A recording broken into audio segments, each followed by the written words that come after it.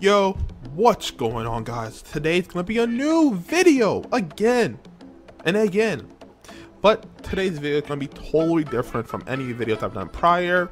It's gonna be more of a guide on how to properly host Ultimate Bahamut High Level as a low rank. Um, yes, this account is a low rank, in case anybody's wondering.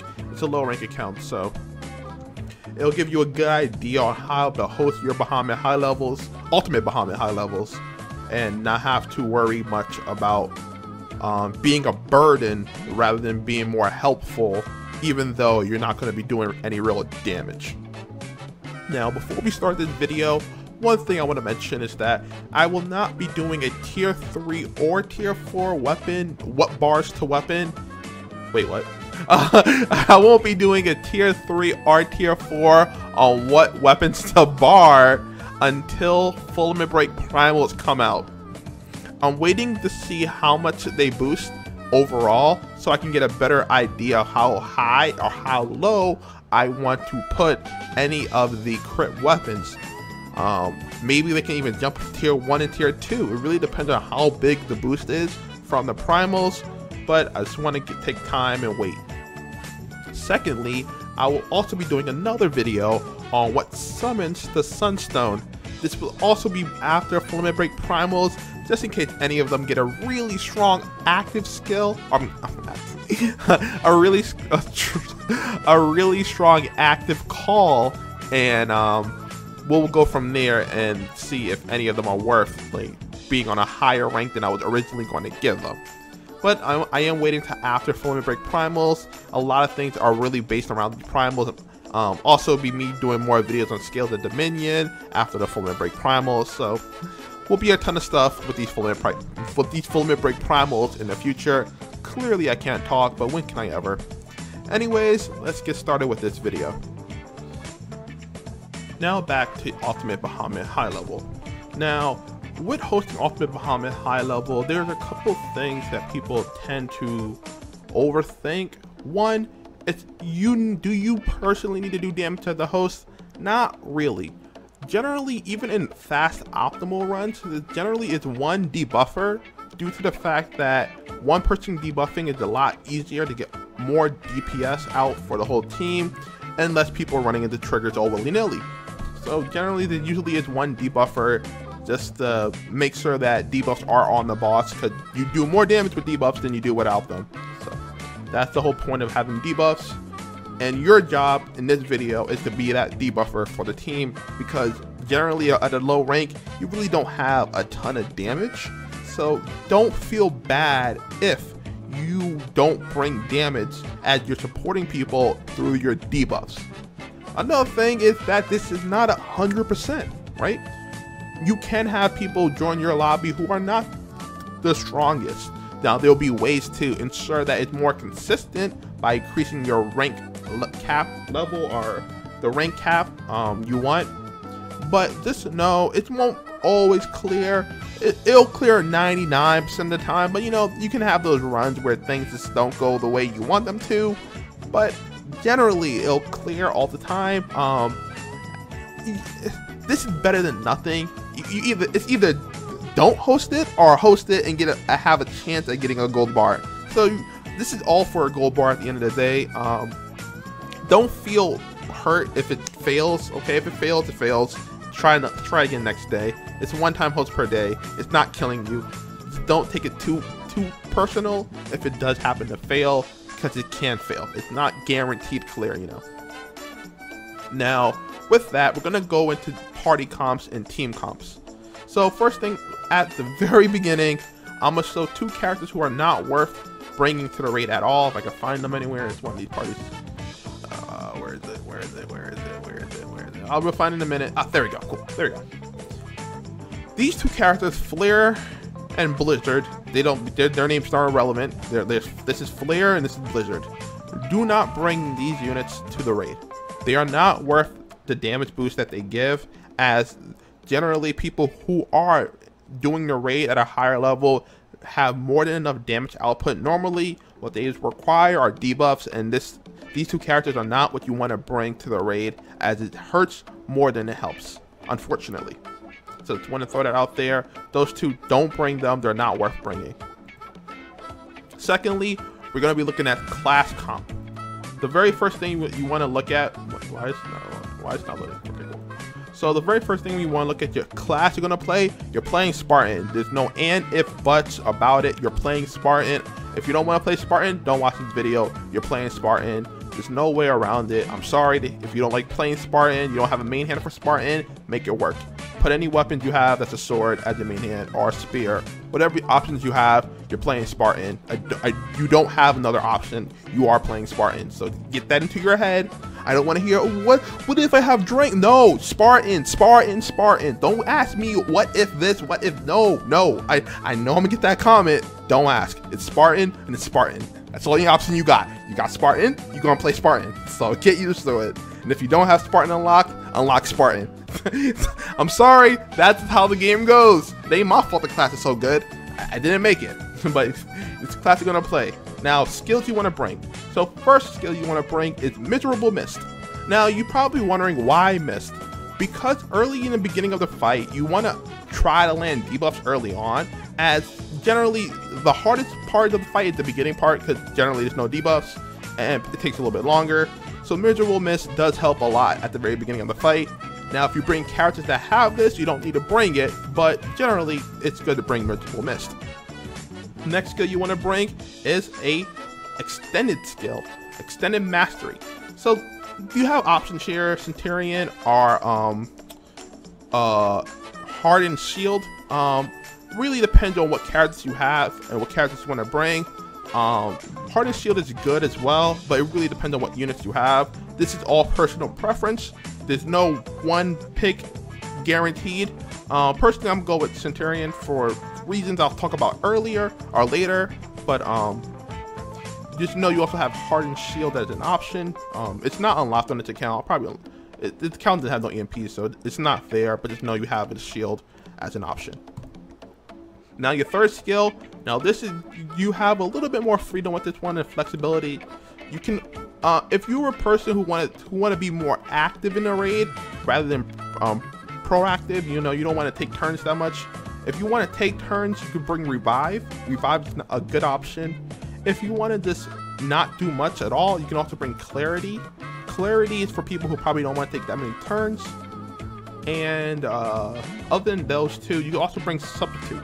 Substitute is for people who actually know the raid and are willing to take the turns required to be a little bit more effective.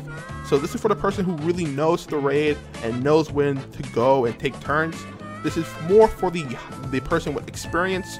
As somebody who's new, I'll just bring revive if you're new.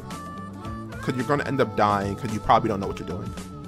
So if you're more experienced, put in um, substitute. If you're not, just bring revive. Now, now you've got the class set up properly. Next is on to the characters. Now, with characters, this is going to be a little bit more situational. Now, it first comes down to your LE. Recommended LE is going to be light, okay? Light has swords and they're easy to get um, for low levels. So swords are would be a good way to boost your overall health and allow you to take more turns and not have to worry nearly as much. Secondly, you'll be running Thor as your sub summon, and Thor only boosts light allies attack. So because you'll be running Thor as a sub, you want to bring um you'll you'll want to bring light more than any other element as the other elements you won't nearly do as much damage with Thor as you would with light. But I'm gonna show you a couple options per LE. Um, fire only has two. Water has a plethora because water does have a lot of debuff units. Wind has two. One is more free to play on wind, so you may likely want to play wind. Not to mention, you do if you have Monkey, you can bring Monkey as well. It's really good for the raid. And Mist will be more likely to hit due to Monkey skill 3. So Monkey's also a very good option here. Earth is kind of hard. Kyne loses his, his viability after 50, but he's really good early on, so that's okay. The same for Medusa, she loses her viability after 50, so let's keep that in mind. Song is there for early paralyzed. Um, this is more for high-end players though, as if you're newer, you won't have enough time to really get enough turns to hit paralyze. But if you are more, if you are more experienced, then you want to use Song. And Dark really has no options outside of Fairy, and she falls into the same problem as Kyne and Medusa, both having the really unfair miserable mist that does become inactive after 50. So after you pick your element, um, in this account, we're gonna pick, mm, I don't even know element to pick actually. Mm, let me, I didn't really think too hard about this one, but we do it, I'll see do it live and see what, what characters we have in this account here. I'm not gonna worry too much about the actual level. Um, let's see here, let's see we got here. So we do have Song here. Song is level 80, but that's okay. So light's an option here. We have. Hmm. Wow, we, don't got much. so we have Song. Song is we're looking like light right now. Mm, we do have the Lily. Lily's a four star though, so she doesn't gain her uh, best abilities. So we'll probably skip out on Lily. What else do we have here? We do have Dog as well. Dog is very strong with her skill 1. Hitting that debuff success rate down does allow us to hit debuffs easier. Um, everything's level 1, huh? Okay, we'll probably just go with Light then. I think Light's fine. Yeah, we'll go with Light. Okay. So once you pick your LD, we're gonna you're gonna start building your team. You want to slot in your debuffer early on. Song five star or four star doesn't really matter much because you're not gonna extend her paral her paralysis anyway. So don't worry too much about that. Now your other slots are generally open. Um, you may want to bring one to two debuffers if you have them, and then a tank unit now, the tank units really depend on what you have. I'm not going to go through each and every tank unit. That'd be ridiculous. It's really going to be like 10 hours. But just look at the units you have and what skills they have. Look at it. It'd also be good to look at videos online of other clears, right? Look at a video for the element you're playing to get an idea. I'm to go with Zoe because Zoe skill 3 is very strong and good enough for me. And for slot 3, we'll just bring uh, part I, I, I think about bringing it just for the meme, but I'm not too worried about it. Let's bring somebody else. Let's, swap the light actually. Okay. Now light. We're gonna bring John. John is for her defense now, and she has attack down as well. I think so. Her having attack and defense down is very strong, so we're gonna go with this team here. Now, back row. Back row, something you want to bring as well, as you're likely to die, so just bring units. Um, a good back row unit is actually Sophia if you have her. You could bring Sophia. If you don't have Sophia, Lena's also a good unit. I believe she's on this account. Yes, so. so you can bring both of them in case you lose a character and stuff. They can come and revive your main character, and you'll be fine. So. Be perfectly fine if you lose a character then bring them in and you wouldn't have to worry much about them. Their job is just to revive the units that die in the front row. Mainly your main character though, because your main character already had to revive, but they're there just to revive your units. Now, with that done, we're going to be looking at the summons. Now, summons, this is very, very open. Now, depending on your LE, you may want to bring very key summons. Howling Mal is a very good summon to bring on light because he does hit debuff uh, attack and defense down turn one. Only on light though. So this is a good summon for light. Good summon for wind would be like Grimnir. Uh, fire has the the fire summon, the four star Satyr. I think I forget what it's called, but it, they have that. But that's only at four star. I believe she hits attack and defense down, stackable. So that that's not really accessible by new players. Um, so I don't remember what summons fire has off the top of my head, but summons like that will be okay. Water actually has Gabriel. If you have Gabriel, it's a very good option. You can throw it at 85 if you have water. Um, Earth doesn't really have much option outside of Uriel, really. Uriel is more of a damage booster though, but it's a nice chain. Uh, if somebody changed your Uriel, that's not a bad chain at all. Alex is also a very good option if you have Alex. Uh, I believe Bahamut and Lucifer.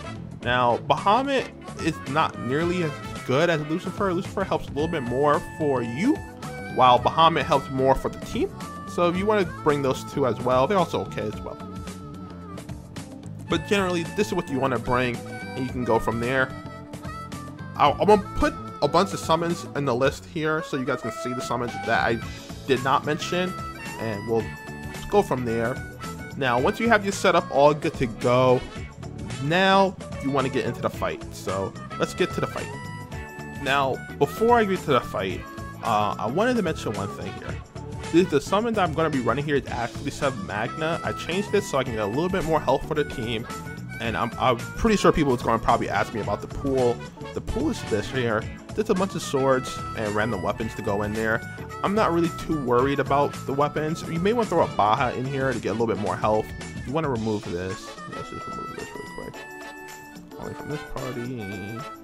So what you want to do here is you want to get as much health in your much health as possible while still having okay damage. Um, depending on your LD, it depends on what weapons you have. I don't know what everybody's gonna run, right? I can't tell you what's gonna run and what's not to run, but it just depends on what you have. But you really want to emphasize health. HP boosting is best because you're not gonna really do damage anyways. So what your job is to do is to support people. So you want to go with more health boosting items. I believe you're running with Song, Zoe, and things. So we bring up Bahamut Dagger, Sword. It's okay. I think we have two humans, actually. So you want you want to get as much health as you possibly can. The Eden, I'm, I'm gonna remove all the free to play stuff because it doesn't matter. I mean, pay to win stuff. Uh, let's go. No Bahamut. Yes, I'm running two Bahamuts as it caps at 50 on the health boost. So I'm just I'm just focusing on health boost right now. Uh, okay. And we can go with get stuff. Stuff that's fine. It doesn't really matter too much. What we're look, really looking for is just to live. oh, we can also swamp this out with the Zeno Sword as a main hand. As the Zeno Sword does give a little bit more damage as a main hand. Okay. So, these are the summons we're going here with here. Uh, ignore the Zeus, doesn't really matter. And the team. So, let's go on to co-op. Okay, now we are co-op. So you want to go to impossible, minimum rank 150. Player type, it doesn't really matter, but I'll put anyone. Generally, you're only doing one host, which is your own. Player limit 6. Player ready check, always have it enabled. Personally, um, you don't need to, but I generally always have it enabled. Privacy, no requirements. Now here, this is what I usually type in. So this right here is Ultimate Bahamut. This is the rank, the rank number you're looking for. And the arrow points up means that they have to be above this threshold. And right here, you notice I have Thor. This stands for Thor, and this is the, the, when you're going to Thor, which is 70%. So that's a good way to get people to want to join your raid, even though you're a low rank. So we're going to post it into the room board. Now, this could take a minute for people to join. It really depends. I kind of hasn't even hosted the raid yet, actually, so be the first host. So what a good tactic is by going hide and display. Depending at the time you're hosting, um, it'd be more likely for people to join, but it really depends. So I'm gonna probably cut this video off until I get people to join, and then I'll start again once I get people to join, even though we have two right now. So, we'll see. Okay, I'm back, and I do have players to join. So, a good thing is, once you're selecting your party, you want to go to miscellaneous and look for Thor. If there's no Thor, you have to go in chat and type in Thor and put a question mark so people can put it. Though we happen to be lucky and someone has a Thor right here for us. So we're going to take our team into the quest right now. A good thing is also to look at the player ranks just in case. You never know. But a good thing is to look at the player ranks in case anybody's trying to sneak in at a lower rank. But generally you'll be okay. Make sure ready check is on and start the quest. Take a second. Okay. So your job here is to be a debuffer. So at the very beginning, the first thing you want to do personally is apply debuffs. Nothing else really matters really at all. So we're gonna go in here, we're gonna use Song Petrified. Uh, nothing hit, unfortunately. So we're gonna try to hit with John. Okay, nothing hit it again. now we try one more time with Mist. So we did hit debuffs there. We're gonna call Howlent Mal here. To get some debuffs on. Now, at this point, you really don't have to do anything at all. Oh wow, we got charge bargaining out of that. Okay, that's lucky. I mean, I would normally have used John's skill 2 there, so to give you an example. Now, right here, you want to cast Phalanx for people. If there's no Phalanx, if somebody casts Phalanx right there, you don't have to cast it. Now, at 25, 75, you may want to take a turn. It really depends on how patient you are. You can just wait this out, actually, and just wait until 70. Because your job is just to apply Thor. So at 70, you want to cast Phalanx. If no one casts it, you can cast it perfectly fine and take your turn. So take your turn. To, it's to give your Thor backups in case. Now, generally people will stamp here for their uh, their stuff. If you see damage going out, then just drop Thor. But generally people will throw a stamp down. Generally. Somebody cast Thor before me because they, they, they speed, they're speed demons. I'm trying to teach you guys, right? So Somebody would may throw a Thor out. If not, you would throw your Thor out. Um, you can also save your Thor if somebody throws out a Thor earlier on. So keep that in mind. Now, if you have enough turns, you somebody may have Phalanx there, but um, it's okay if someone does not Phalanx. Now, you can take a turn at 50 here. You don't need to, but you can. If you want to be a little bit more active in the fight, you know, if you want to be more contribute. If you want to contribute a little bit more, you can take a turn, but you don't need to. I'll recommend personally skipping this uh, 40 as you're just taking damage you don't really need to take at all. Also, don't be scared to use pots at all from the damage you take from 50. You can always just wait until the 35. Wait for somebody to push it. Then you can use this Ogi, do a little, to do a little bit, you know, to look good. so you don't feel completely useless. But you know, hey man, as long as you get your host in, that's all that really matters, right? Nothing else matters at that point. So you can get some buffs in. You can try, you can try to take some turns. If you have Song here, you can try to apply Paralyze if you didn't apply it earlier. I'm gonna go for it right now, see what happens. If it hits, cool. If it doesn't, it's cool as well. We did hit it, so we're gonna take a turn here. It's not to do much. Uh, we do have Zoe up, but, you know, if you don't have Zoe, it'd be a different situation, right? So it really depends on what team comp you have and what unit you're to bring. Now, at this point, you're just, you're just chilling. You, you really don't have to do much. Um, you're just to wait until 10. Now, you can always just pod and go into the 10 if you want to be a little bit more proactive, as I said. If you want to be more part of the team and feel like you're doing stuff, you don't really have to, but if you really want to feel like you're doing something, you know, you don't have to worry about it too much though. And I believe this is the end of the fight right here. Yep, so that's a quick run right there. It's the general idea you want to bring when you're coming into this raid. Just how to support the team because you're not you don't have to do much. All you gotta do is just bring debuffs and support everyone else. The people have the damage, your job is to support their damage. So hopefully it's a good video and you guys can learn something from it. Um, if you have any questions, um, leave them in the comments. Thank you guys for watching, and I'll see you guys next time. Unless you got a gold bar before you leave. Because you probably were, you're probably curious if we got the gold bar or not. We did not, so rip. Anyways, thank you guys for watching, and I'll see you guys next time. Bye.